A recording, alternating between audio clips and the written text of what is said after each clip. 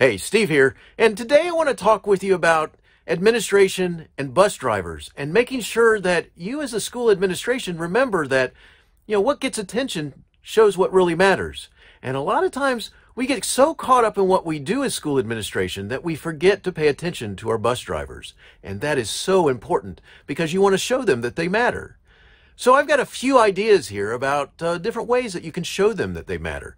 So for my first way is simply this have a breakfast, a lunch, or a dinner for them. Yeah. So they can stop by, grab something. It could be quick or it could not be quick. It just depends on how you want it to happen. Sometimes just a you know a quick breakfast biscuit and uh, and a coffee or a soft drink is perfect. Or maybe it's a little bit longer as a lunch or a, or a dinner. You, you work on that, but hey, that's a great big recognition, a great, big opportunity to uh, make sure they know that they matter if you provide them a, breakfast, lunch, or dinner, something like that. Well, a second way, I just kind of let on about it just a second ago, is recognize them. That's right. Give them, a, you know, recognition or awards or such that uh, you're showing that you uh, notice what they do. For example, like always on time, friendliest, the uh, most uh, willing to help the administration in times of desperate need, that type of thing.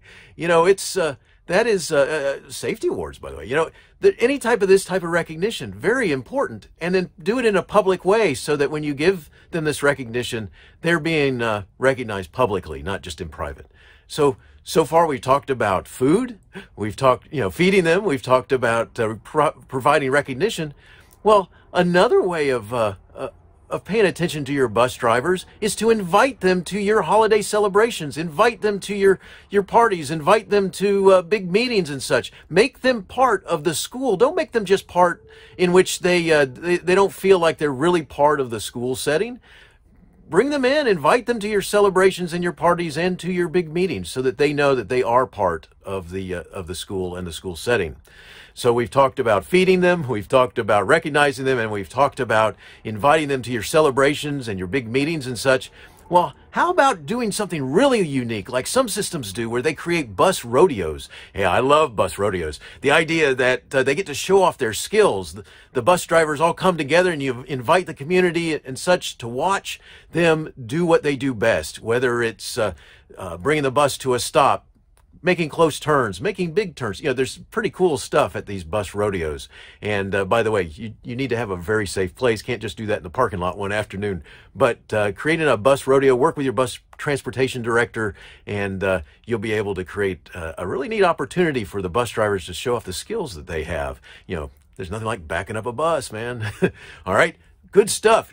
Give them a chance to show off their skills at a bus rodeo. Well, the final thought I have about uh, paying attention to your bus drivers is simply this.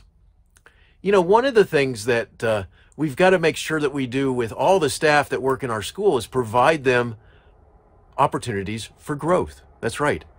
Well, bus drivers are no different. You got to give them opportunities to learn, to, to learn more about what they do, uh, uh, to learn to be better at their craft. And it could be everything from opportunities to become a better driver, um, opportunities to understand the mechanics of the bus, opportunities to learn how to deal with the, students, you know, in behavior management, you, you name it, there are different ways that you can uh, provide professional training, professional learning for your bus drivers. And it's important because they need refresh, they need retraining, they need the opportunity to work with other bus drivers, to come together with other bus drivers and hear their stories and their thoughts about, you know, what they'd like to learn more about. So good stuff. So remember, what matters is what you pay attention to. Are you paying attention to your bus drivers? They need you to. Thanks for listening. Enjoy the day. Take care. Ta ta.